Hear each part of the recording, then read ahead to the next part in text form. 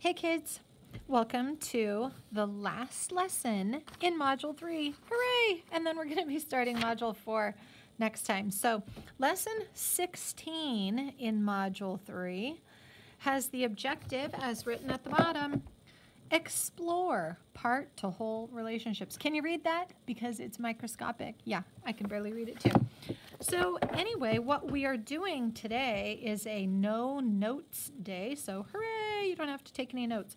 but you do have to turn that brain on because you're going to be thinking about the words in these statements and how they relate to each other. So we're going to be drawing ribbons. Ribbons look a whole lot like tape diagrams, but let's call them ribbons because that sounds nicer. And um, when finished, if you have somebody nearby who is also reading the same statement, whether you're in class or at home, when finished, compare your work to your partner's. Because honestly, seeing the difference between how people interpret these statements is where the fun begins and where the learning begins as well. Uh, because if you make mistakes or if you have something different, you really have to justify your thinking about why you drew your ribbon the way that you drew it. So let's get started. One, this is one ribbon. In A, one ribbon. We're gonna we're gonna be looking at ribbons. Look, this is a ribbon too, but they're gonna have different uh, explanations that go with. So, the piece shown below is only one third of the whole. This is one third of the whole. So complete the drawing to show the whole ribbon. So if this is one out of three parts, then what I need to do is I need to draw more parts that look just like that. If this is one, then here's another one, and here is another one. So complete the drawing to show the whole ribbon. Now I have a whole ribbon. 3 thirds equals 1. Okay, so that's what we're doing today. We're going to look, we're going to read, identify. What are the important words? Is is an important word. Whole is an important word. The fraction is important. This is a piece. That's important. Let's compare that with B. Okay, we've got one ribbon. The piece shown below is four fifths of the whole. Difference between A and B. This piece is 1. This piece is 4. So it's 4 fifths of the whole. The whole is going to be 5 fifths, but this is 4. So what you're going to do instead of drawing more of these is you're going to split this or divide it into four equal parts and then add on a fifth section that would then make 5 fifths for the whole. This is 4 fifths. Remember, 1 fifth, 1 fifth, 1 fifth, 1 fifth, and you add those and you get your 4 fifths. This is also a fifth. And so you add that on to get the one, the 5 fifths, which is 1. So you complete the drawing. Okay? Next one. Instead of one ribbon, we have two ribbons. Ribbons A and B. A and B. So we'll put them right on top of each other. One third of A is equal to all of B. Draw a picture of the ribbons. Okay, so if one third of A is equal to all of B, then let's just say B is about this long. Okay, but A's ribbon, this is only going to be one third. One third of A is equal to all of B. So you have to continue drawing the rest of ribbon A in order to show the whole ribbon. This is the whole for B, and this is the whole for A. Okay? So if you only have one ribbon and it's not divided into three parts, then make sure that it's at least three times as long as B. Okay? Let's do another one. For D, we have three ribbons now, C, D, and E. C, D, and E. Set it up like this. And check out what we're going to do. We're going to have comparative words here. C is half the length of D. E is twice as long as D. So we're comparing with D on both C and E. Draw a picture of the ribbons. And it doesn't give us any particular size, so let's make D about this big.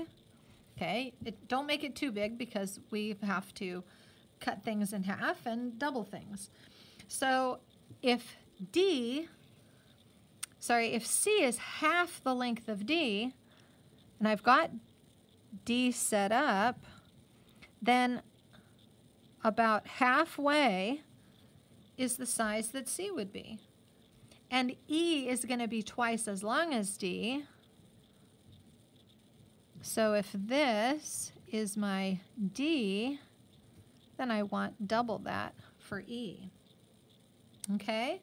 So if this is the 1, this is half, and this is twice. Those are the key words that go with these ribbons slash tape diagrams. Okay, hope that's helpful. This is hopefully going to be a quick one. The, we only have two more, so continue your part to whole relationships with these strategies. Half of Robert's piece of wire is equal to two thirds of Maria's wire. Ooh, we've got a half and we've got equal to two thirds of Maria's wire. The total length of their wires is 10 feet. We'll get to that in a minute. How much longer is Robert's wire than Maria's? So we've got Robert and Maria, R and M, set it up and label. And we've got half of Robert's piece is equal to two out of three of Maria's. So let's let's draw a ribbon. Let's let's say we have half right here. Okay. This is Robert's ribbon, the whole thing. But half of his piece is equal to 2 out of 3 pieces of Maria's. Half of his is equal to 2 out of 3. And so right here, you should be able to draw a straight line and show how they are the same at that point, okay? Now, remember, they still have a hole. He still has a whole uh, wire, and she still has a whole wire. The total length of these wires is 10 feet. Now, here's where it gets a little odd. The We don't have to solve exactly. We just have to show in a fraction or mixed number. How much longer is Robert's wire than Maria's? So when I first started doing this program, it was um, confusing to me because I was like, well, I don't understand what they want us to do. I don't have very much information. But here's what I want you to notice. Once you have created this picture, notice how I'm filling in all these little pieces so that they are equal in size. That is going to be key when you're solving these questions is to create the tape diagrams and make equal size pieces because that is honestly finding the missing number. So now I have uh, 10 feet that's being divided by these seven pieces. 10 divided by 7. 10 divided by 7. 10 feet divided by 7 pieces. So when you have 10 divided by 7, all we have to do at this point, according to this Eureka Math program, is to uh, write this, which is actually the answer, in its simplest form. So 7 fits into 10 one whole time, so it would be like 7 sevenths, that's your one whole, with 3 left over out of 7, and that's going to be the 1 and 3 sevenths feet, and that's how much uh, longer Robert's wire is than Maria's. And so that would be like this space here. So if all these add up to 10 feet, then this amount is 1 and 3 sevenths. Okay? So I know it seems really weird, but that's the answer. And let's wrap it up with number 3. Half of Sarah's wire is equal to 2 fifths of Daniel's. Again, we're looking at these words and it's equal to and 2 out of 5 of Daniel's. And now we have Chris. We have a third wire. He has three times as much as Sarah. In all, their wire measures 6 feet. So again, we're going to have that label up here off to the side with the total amount. So let's draw our pictures. Let's give them their names. We've got Sarah. We've got Daniel and we've got Chris. So half of Sarah's wire is equal to 2 fifths of Daniel's. Let's look at Sarah's wire. Let's give her wire a size. Let's do half of her wire, and that's equal to 2. That might be too small. Hopefully it's not. E half of hers is equal to 2 out of 5 for Daniel. So he not only has two more here, but he has another one off to the side. Okay? Half of her wire is the same distance as 2, if that's crooked, sorry, I'll just make it exactly straight, 2 out of 5 of Daniel's, okay? Now here comes Chris. Chris has three times as much as Sarah. Hmm, well, we know that for Chris, to have three times as much as Sarah, it's going to be equal to 4 of Daniel's. So if this is 1 for Chris, then he's going to have another one and another one. Okay, so it's three times as much as Sarah. Here's Sarah's 1, and here's Chris's 1. 1, 2, 3, 3 times 1 is 3. In all, their wire measures six feet. Six feet. Now I want you to look at what you just created and do the same thing we did up above because this is going to be critical in helping you solve. What have we done with Daniel's wire? Well, we broke it into exactly these little pieces. So now take these and compare with Sarah's. Split this one and split this one so that we have equal sized pieces. Now do it again, noting that each one that is Sarah's is broken into four equal pieces. Do it again here, each one being four equal pieces, each one being four equal pieces. Okay? Now, how long is Sarah's wire and feet? How could I possibly answer this question?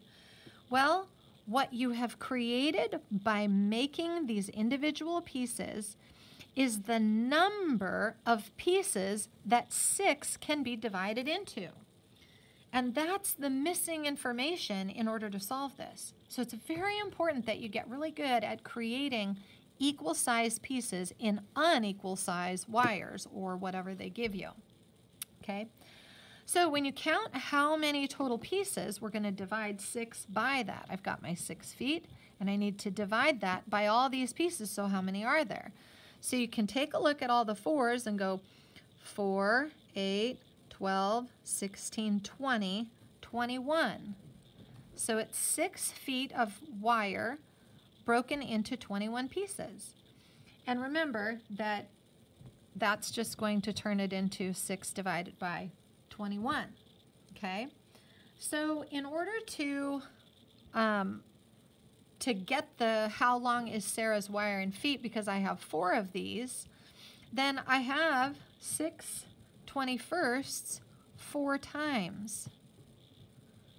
I sure hope these videos are helpful. Click subscribe and come back again. And we'll have some more fun with math.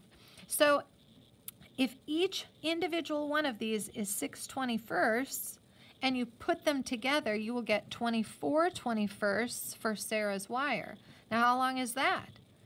That is all of 21 21s, so that would be one, with three left over, which gives you 1 and 3 21sts. Now, that in itself is not simplest form. And some students maybe aren't there yet because they look at this and go, I don't understand how to simplify this. And, you know, rule, Mrs. Setness's rule one is the doubles, and this is not a double. And rule two is look for even numbers, and this is not rule two because they're both odd. This is when you have to know your multiples and go to rule three, and you find the greatest common factor for both. 3 is the greatest common factor for both, so you would simplify by dividing by 3 on both top and bottom, and you end up with 1 and 1 seventh feet, and that is the length of Sarah's wire. S A R A H apostrophe S wire. There you go. I sure hope that was helpful. That's a tough one on the back here, but definitely fun on the front. So come back again and we will see you on the next video. Bye for now. We'll see you in Module 4. Yes.